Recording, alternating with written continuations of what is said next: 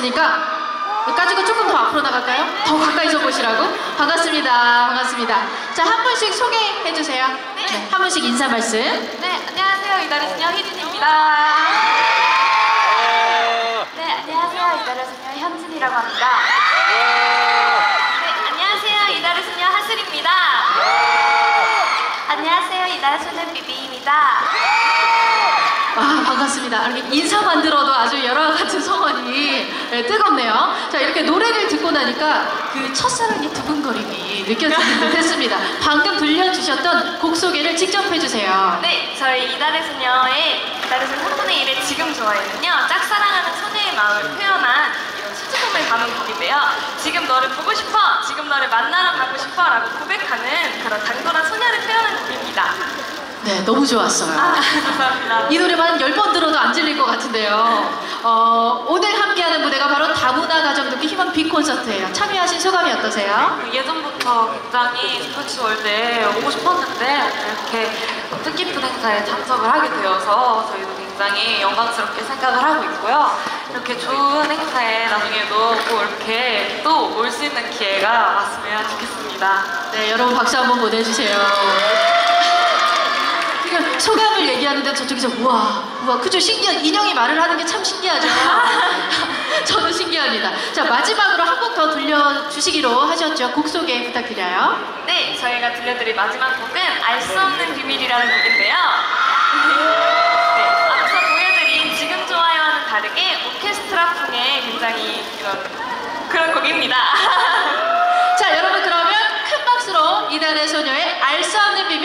듣겠습니다. 박수 보내주세요.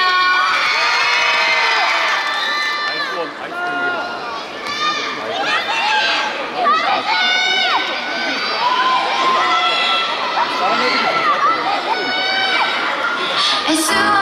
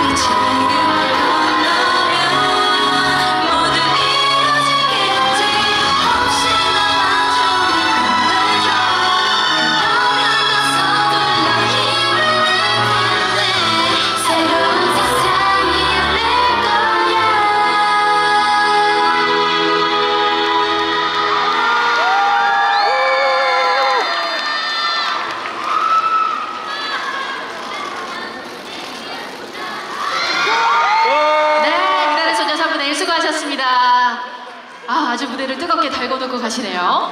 자, 저희가 지금까지는 굉장히 신나게